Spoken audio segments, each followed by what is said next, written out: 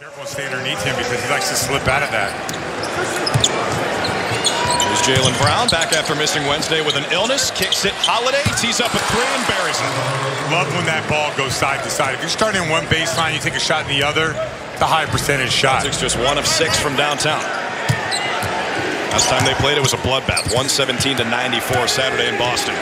Brown curls, hooks it out. Holiday steps back. Buckets! Right in front of the Celtics bench. That was nasty. Reminding him to stay aggressive. And as Joe told me tonight, we're at our best when Derek is as aggressive as our top guy.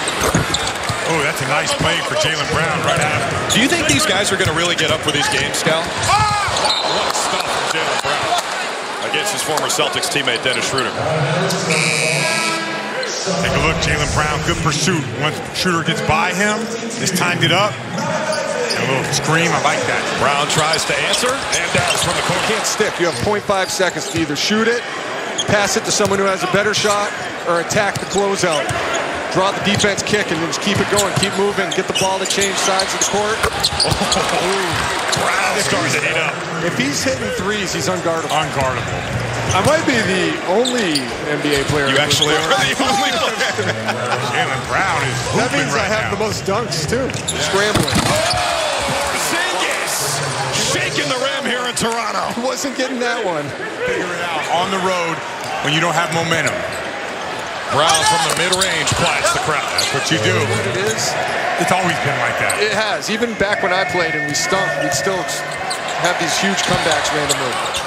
Good defense right Just can't there by relax. Brown. Lead for the Celtics as Brown runs the show in transition. Schroeder picks him up. Barnes brings help. Brown leaves it. Porzingis finishes. Great relocation by Porzingis on the base. Two pointers. We've got a tie game. Schroeder does have five threes though. For three. Got it. Love that short roll decision makers. Not easy to do. Al Horford's one of the best in the league, catching that ball in the middle of the paint and making a decision. Derek White scored 22nd Wednesday. Brown on the takeaway. The pilfer and the finish. Siakam looking around, waiting to set up. Brown said, enough of that. Remember, Brown dominated Siakam in the bubble. Holiday poked it away from Schroeder, chased it down. Great hustle from Jrue Holiday. And the shot clock's down to five. Discombobulated possession ends with a Porzingis rejection. Swatted Siakam. Brown on the move. Lefty finish. Get that out of here. And then Jaylen Brown on the push. What a finish from Brown. Elevate, flies to the left, and lays it up.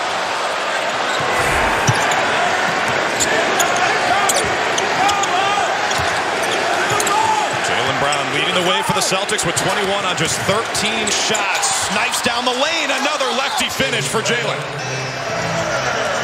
Brown picks up Schroeder. Tatum switches onto him. Now Siakam versus Jaylen. Couple all-NBA guys doing battle here. Under 10 to shoot. Siakam. Porzingis fighting for the rebound. Holiday ends up with it. That's his eighth to go with 12 points. Tatum dumps it in.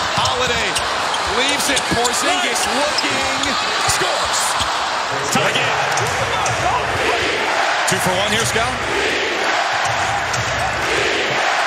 Holiday out to White in the corner.